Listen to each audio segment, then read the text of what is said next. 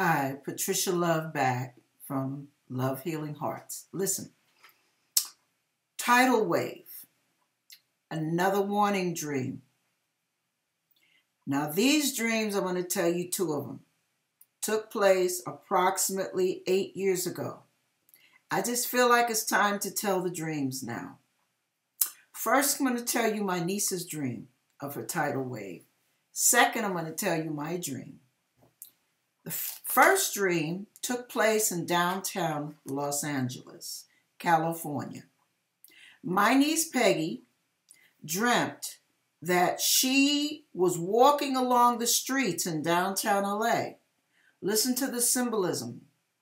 She said that she happened to notice some people looking up. And as she looked at them, she looked to see what they were looking at. And she noticed what they were looking at was a very tall tidal wave. It was practically standing still. She didn't recognize the speed of its movement. She was just startled by its presence. I believe she said it looked approximately 10 to 18 stories high. It was somewhere way up there, skyscraper height. And she said the only ones that could see the tidal wave, listen to this, were people who were looking up.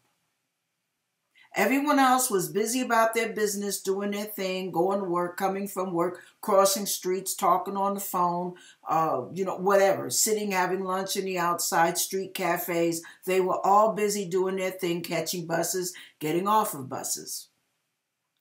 But the only few that noticed the tidal wave's presence were the people who were looking up. You get it? So, what ended up happening was she ran to the parking lot to jump in her Jeep. And she was going to hurry up and wind up the window, pray, and and ask God to, to forgive her and make sure everything was right and ready because she knew that was going to be her last moment. But as she was praying, she opened her eyes and looked around and realized the tidal wave hadn't come on her yet. Timing wasn't correct. So she looked out the window and the tidal wave was creeping along extremely slowly. She said maybe two or three miles an hour. It was very, very slow. A person could walk faster than that tidal wave was moving, but it was a wall of water. And she said it looked like ocean water. Okay? Now, what she did was as she prayed and said, Well, what do I do? How do I get away from this thing? She heard a voice tell her, Go to higher ground. So she drove toward the freeway so she could drive to Pasadena and then ultimately to Altadena. That was the highest ground she could think of at the moment because she lived in that area. So that's what she did. And as she was on the freeway, she looked back and she could see the wall and it had finally covered the area where her Jeep had been parked. But she was in safety because she was headed in the right direction. Crazy, huh? Number two, this is my dream. I dreamt that I was standing outside of a building with a couple of people. And we happened to notice this wall of water appear and we noticed it was standing still, it wasn't moving. So we ran inside to warn people to stay inside the building and close all the windows and blah, blah, blah. And the next thing I knew, I looked outside and there was this little girl. I couldn't tell if she was Caucasian or Spanish, or, but she was a little girl, maybe about five or six years old, holding her doll. So I looked out the window and the tidal wave hadn't gotten to her. And I ran out the door and I picked her up and, and brought her inside the building. And then I woke up.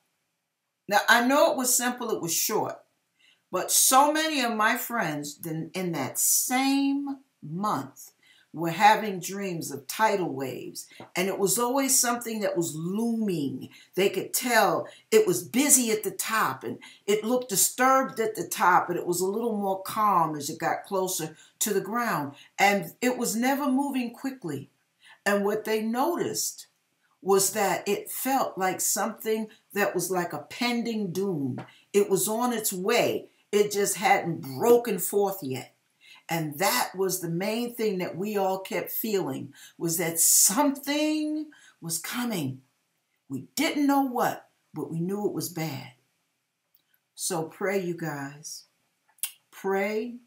Those of you who don't know the Lord, get right with God. This is no more playtime. It's pray time. Please. That's it. I'm not going to go any further. God can give you dreams and warnings. Ask for it because we all need to be as prepared as possible. Amen. God bless you.